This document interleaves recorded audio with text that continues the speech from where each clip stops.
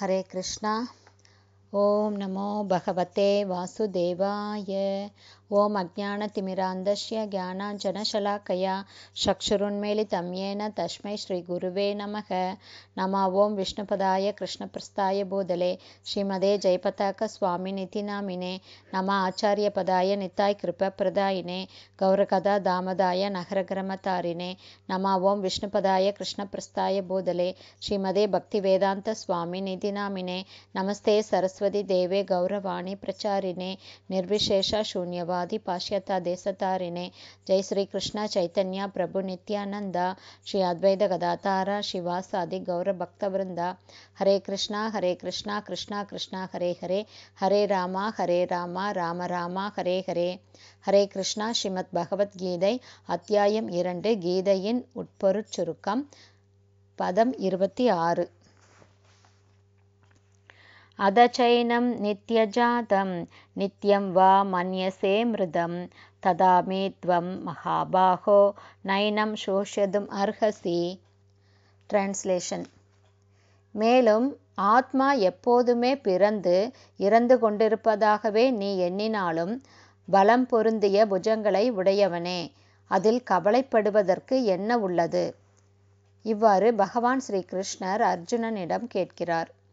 பர்போட் by ஷில Prabhupad Jai ஷில Prabhupad உடலை விட்டு தனியாக ஆத்மாவுக்கு இருப்பேதும் இல்லை என்று நம்பும் புத்த மத இனத்தினருக்கு பெரும்பாலும் இணையான ஒரு கொள்கையினர் உண்டு. பகவான் ஸ்ரீ கிருஷ்ணர் ஸ்ரீமத் பகவத்கீதையை உபதேசித்த போது இது போன்ற தத்துவவாதிகள் இருந்தனர் என்றும் லோகாயாதிகள் மற்றும் வைபாஷிகள் என்று அவர்கள் அறியப்படுகின்றனர் என்றும் தெரிகிறது. இந்த தத்துவவாதிகள் உயிர் அறிகுறிகள் அல்லது ஆத்மா ஜடப்பொருள் கலவையின் ஒரு குறிப்பிட்ட பருவநிலையில் தோன்றுவதே என்று வாதம் செய்தனர். தற்கால விஞ்ஞானிகளும் பௌதீக தத்துவவாதிகளும் கூட இவ்வாறே எண்ணுகின்றனர்.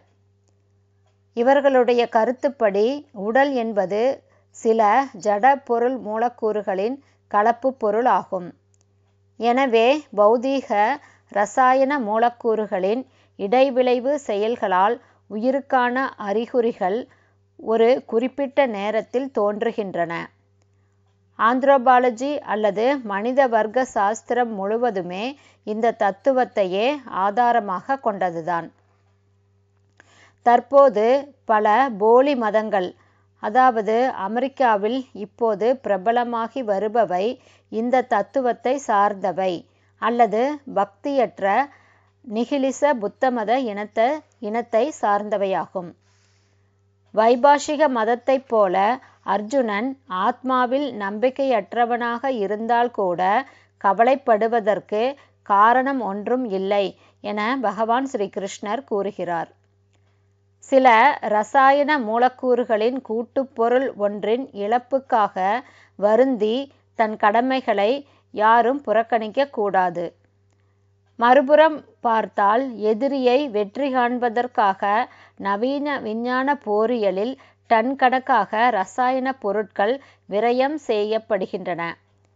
வைபாஷிக கொள்கையின்படி உடல் அழியும் போதே ஆத்மா என்று அழைக்கப்படும் பொருளும் அழிந்து விடுகிறது எப்படி இருந்தாலும் அணு ஆத்மா உள்ளது என்ற வேதங்களின் முடிவை ஏற்றாலும் அல்லது ஆத்மா இருக்கிறது என்பதையே நம்பாவிட்டாலும் கூட அர்ஜுனனுக்கு கவலைப்பட தக்க காரணம் எதுவுமே இல்லை. இந்த கொள்கையின்படி ஆயிரக்கணக்கான ஆத்மாக்கள் ஜட பொருள் கலவையிலிருந்து கணந்தோறும் தோன்றி அவ்வாறே அழிந்தும் வருகின்றன ஆதலால் இந்த சம்பவத்திற்காக துன்பப்பட வேண்டியதில்லை. மேலும் மறுபிறவி என்ற பிரச்சனை இல்லாததால் பாட்டனாரையும் ஆசிரியரையும் கொள்வதால் ஏற்படும் பாவ விளைவுகளையும் எண்ணி வருந்த வேண்டியதில்லை. அதே சமயம் அவனை சாரி அதே சமயம் அர்ஜுனனை மகாபாகோ அல்லது பலம் பொருந்திய புஜங்களை உடையவனே என்று சிலேடையாக அழைக்கிறார் ஸ்ரீகிருஷ்ணர்.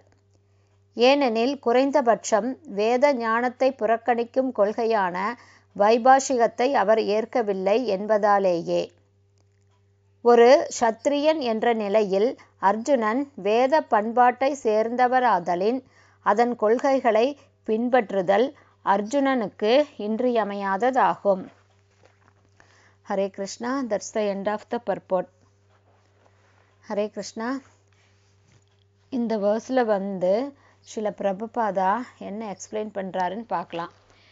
இந்த இந்த வேர்ஸில் நிறைய போலி மதங்களை பற்றி தான் சில பிரபுபாதா எக்ஸ்பிளைன் பண்ணுறாரு எப்படியெல்லாம் ஆத்மா இல்லை பரமாத்மா இல்லை நம்மளுடைய உடலே வந்து பலவிதமான பலவிதமான ரசாயன பொருட்களோட ஒரு கூட்டு தான் அப்படின்னு தான் நிறைய மதங்கள் சொல்கிறதா சில பிரபுபாதா சொல்கிறாரு சோல் அப்படிங்கிறதே வந்து ஒரு பயோகெமிக்கல் காம்பினேஷன் தான் அப்படிங்கிறது தான் வைபாஷிக மதம். இதை பரப்பிய தத்துவ ஞானிகள் தான் வைபாஷிகள். உடல் வந்து ஒரு பயோகெமிக்கல் காம்பினேஷன் அப்படிங்கிறது ஏற்றுக்கொள்ள வேதங்களால் ஏற்றுக்கொள்ள முடியாத ஒரு கொள்கை. இதெல்லாம் வந்து போலியாக பல மதங்களை பலர் பரப்பிட்டு இருக்காங்க அப்படிங்கிறது தான் சில பிரபுபாதா சொல்கிறாரு எப்படி அப்படின்னா உயிரோடு இருக்கிற ஒரு உயிரினத்தில் இருந்து டிஎன்ஏ அப்படிங்கிற ஒரு மூலக்கூறை எடுத்து தான் சில மாற்றங்களை செஞ்சு விஞ்ஞானிகள் ஒரு புதிய உயிரை உருவாக்கலாமே தவிர அவங்களால புதுசாக ஒரு புதிய உயிரை உண்டாக்கவே முடியாது. ஏன்னா அவங்களுக்கு அது தெரியாது. இந்த வைபாஷிகர்கள் சொல்றது என்னன்னா இவங்களோட கொள்கை என்ன அப்படின்னா உயிர் உடல் சரி உடல் அழியிறப்பவே ஆத்மா அப்படிங்கிற பொருளும் அழிஞ்சிருது அப்படிங்கிறது தான் அவங்களுடைய கொள்கை. ஆத்மா இல்லை அப்படிங்கிறதையே பலவிதமாக விஞ்ஞானிகள் சொல்கிறத தான் இந்த பதம் நமக்கு விவரிக்கிறது. இந்த விஞ்ஞானிகளும் தத்துவ ஞானிகளும் சரியான முறையில் ஆத்மாவை பற்றி தெரிஞ்சுக்காம அவங்களுடைய மனம் போன போக்கில் சொல்லி எல்லா மக்களையும் வழி தவற செய்கிறாங்க இவங்கனால ஒரு உயிரை உண்டாக்கவே முடியாது. ஏன்னா உயிரோடு இருக்கிற ஒரு உயிரினத்திலிருந்து அந்த டிஎன்ஏ காம்பினேஷனில் தான் ஏதாவது சின்ன சேஞ்சஸ் பண்ணி புதுசாக ஏதாவது கண்டுபிடிப்பாங்களே ஒழிய புதிதாக ஒரு உயிரை இந்த விஞ்ஞானிகளால் கிரியேட் பண்ணவே முடியாது. கடவுள் நம்பிக்கை இல்லாத விஞ்ஞானிகளும் தத்துவ ஞானிகளும் சொல்கிறத இந்த பதம் நமக்கு தெளிவாக எடுத்துரைக்குது. இந்த பதத்தில் சில பிரபுபாதா இதைய நம்பக்கூடாது அப்படிங்கிறது தான் நமக்கு சொல்கிறாரு ஏன்னா இதெல்லாம் வந்து அவங்களுடைய வாய் சாமர்த்தியத்தினாலையும் டேலண்ட்னாலையும் மக்களை திசை திருப்ப முடியுமே ஒழிய இது வேதங்கள்ல இருந்து சொல்லப்பட்டது கிடையாது. ஏன்னா பகவத்கீதையும் பாகவதமும் வேதங்களும் இதிகாசங்களும் புராணங்களும் தெளிவாக ஆத்மா இருக்குது. ஆத்மா பகவானுடைய அம்சம் அப்படிங்கிறத தெளிவாக நமக்கு விவரிக்கிறது அதனால் இந்த போலி மதத்தினால நாம் கவரப்படாமல் உண்மையை நம்மளுடைய புத்திசாலித்தனத்தால் தெரிஞ்சுக்கணும் அப்படிங்கிறது தான் சில பிரபுபாதா இந்த வர்ஸில் எக்ஸ்பிளைன் பண்ணுறாரு ஹரே கிருஷ்ணா. சில குருதேவுக்கு ஜெய். சில பிரபுபாதுக்கு ஜெய். ஹரி போல்.